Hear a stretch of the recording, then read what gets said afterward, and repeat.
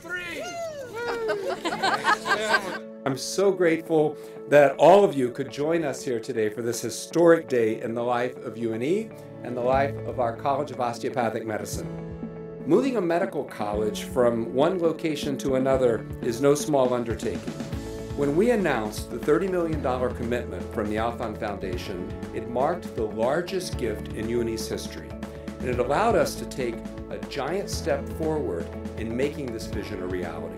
This center will enable the university to educate more physicians, physicians so desperately needed throughout our state.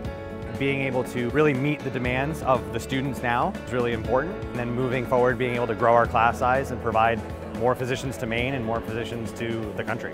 The funding not only supports the construction of the Harold and Bibby Alfond Center for Health Sciences, but it also will allow us to redouble our unique programming in collaborative team-based interprofessional education and science on this campus.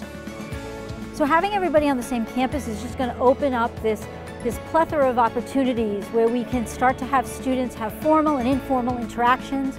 UNE is going to become a national leader and ideally the national leader for this team-based healthcare, especially to train physicians and others to work with populations in rural areas.